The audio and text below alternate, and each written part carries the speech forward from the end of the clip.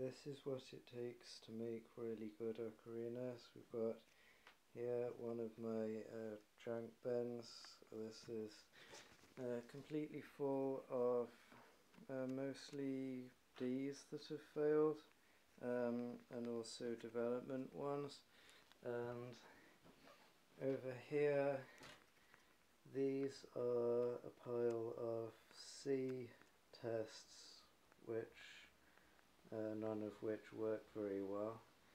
And that's not even like um, most of what I've made because most of them have been recycled back into clay. So when they're wet you just re-add water and it goes back into a slip and then if you leave that it dries out and you can wedge it back into clay again and reuse it. And that's what's happened to most of them.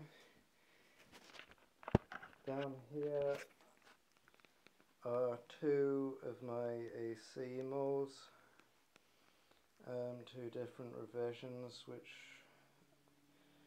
um, that's uh, just improved the um, playing of them.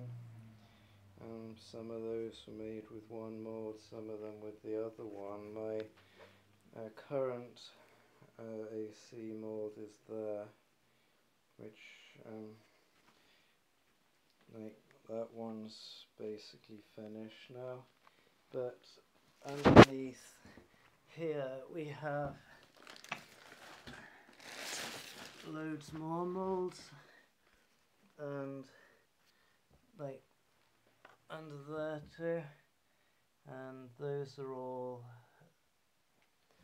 uh, failed for various reasons.